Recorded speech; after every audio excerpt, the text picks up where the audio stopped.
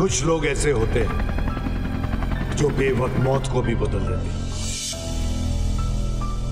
इतना खून देख के लगता है इसे बड़ी बेरहमी से मारा है।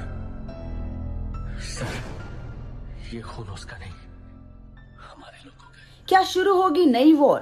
क्या खिचड़ी पका रहे हैं director Prashanth Neel?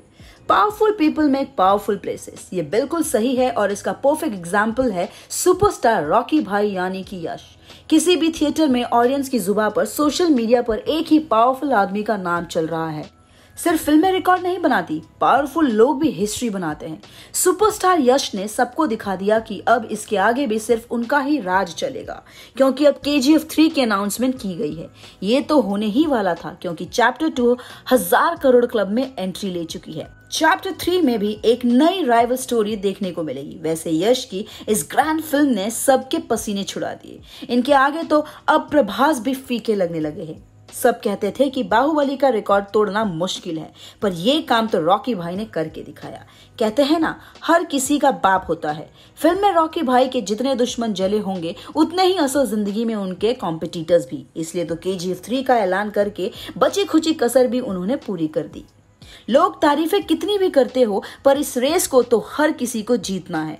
और इसमें प्रभास पीछे रहेंगे, ये कभी सोचा नहीं था। यश ने दो फ़िल्मों से ही इतनी बड़ी बाजी मारी है कि अब उन तक पहुँचना प्रभास के लिए थोड़ा मुश्किल लग रहा है। प्रभास की पिछली फ़िल्म राधे श्याम कुछ कमाल नहीं कर पाई।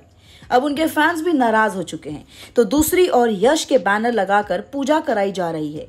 इन सब के बीच में फैंस प्रभास पर प्रेशर तो आएगा ही ना।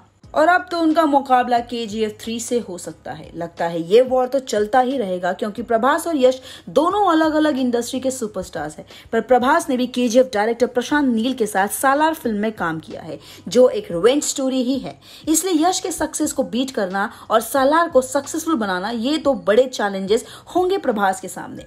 इसमें खबरें ये बता रही है कि डायनामिक डायरेक्टर प्रशांत अपने इसी दो फ़िल्म के बीच का कंपटीशन हटाने का प्लान बना रहे हैं।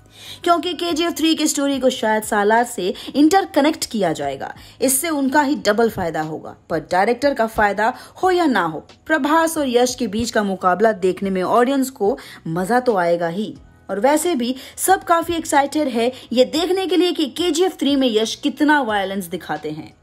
आपके हिसाब से यश को बीट करना पॉसिबल है? पता है कमेंट बॉक्स में लिखकर। इस वीडियो को शेयर और लाइक करें। चैनल को सब्सक्राइब करना ना भूले।